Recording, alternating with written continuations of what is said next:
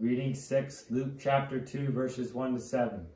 In those days, Caesar Augustus issued a decree that a census should be taken down of the entire Roman world.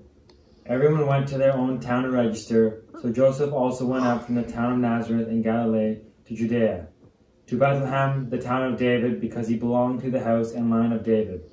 He went there to register with Mary, who was pledged to be married to him and was expecting a child. While they were there, the time came for the baby to be born, and she gave birth to her firstborn, a son. She wrapped him in cloths and placed him in a manger because there was no guest room available for them.